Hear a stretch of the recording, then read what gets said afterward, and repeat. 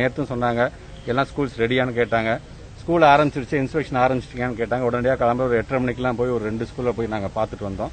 வருகின்ற பள்ளி மாணவர்கள்ட்ட நானே ரெண்டு மூணு பேர்த்தில் பேசினேன். எப்படா வந்திருக்கீங்க? இப்போ ரெண்டு வருஷம் கழிச்சு வரீங்களா? உங்களுக்கு எப்படி இருக்குது அப்படின்னு. ரொம்ப சந்தோஷமாக இருக்குது ரொம்ப நாள் கழிச்சு எங்கள் நண்பர்களை பார்க்க வரோம். எடுத்தோடனே யார் நாங்கள் படிக்க வரோம் நாங்கள் திருப்பி நாங்கள் இது ஹோம்ஒர்க் எழுத போகிறோம்லாம் வரல. ரொம்ப நாள் கழிச்சு நான் பள்ளிக்கூடத்துக்கு நாங்கள் உள்ளே நுழைகிறோம் நாங்கள் எங்களுடைய ஸ்கூல் ஃப்ரெண்ட்ஸை நாங்கள் பார்த்து பேச போகிறோம் ரொம்ப சந்தோஷமா இருக்குது அப்படின்னு சொல்லி அவங்களுடைய அந்த மகிழ்ச்சியை வெளிப்படுத்தினாங்க. தொடர்ந்து ஹவுஸ்ல இருந்தோம்.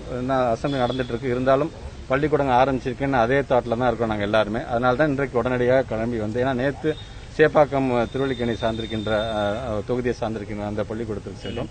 இன்றைக்கு ஆயிரம் விளக்கு தொகுதியை சார்ந்திருக்கின்ற இந்த பள்ளிக்கு வந்திருக்கோம். அடுத்த ஒரு ரெண்டு ஸ்கூல் பார்த்து தான் நாங்கள் ஹவுஸ்க்கு போய் நாங்கள் மாண்பு முதலமைச்சர் வந்து அப்டேட் பண்ண போறோம் நாங்க.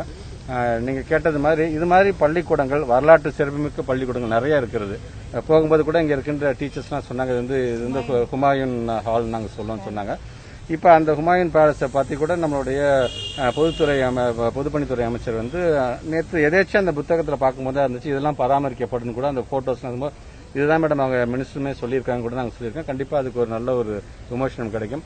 பொதுவாக தமிழ்நாட்டில் இருக்கின்ற பல்வேறு பள்ளிக்கூடங்கள்ல வந்து அதே மாதிரி இந்த பள்ளிக்கூடத்துக்கு இருக்கின்ற ஒரு சிறப்பு வரும்போது எங்களுக்கு ரொம்ப பெருமையாக இருந்துச்சு.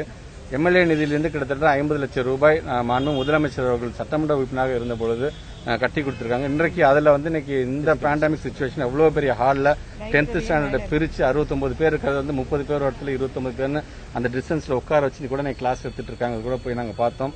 மாணவர்களோட சேர்ந்து இந்த மேனேஜ்மெண்ட்டோட சேர்ந்து இன்னைக்கு நாங்க வந்து ஒரு உறுதிமொழியும் அங்கே எடுத்துட்டு வந்து வந்திருக்கோம் நாங்கள்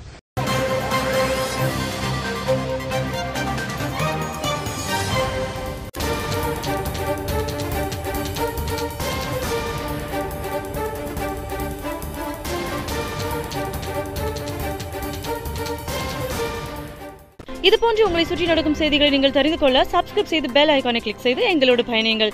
மறக்காமல் லைக் ஷேர் கமெண்ட் செய்யுங்கள்.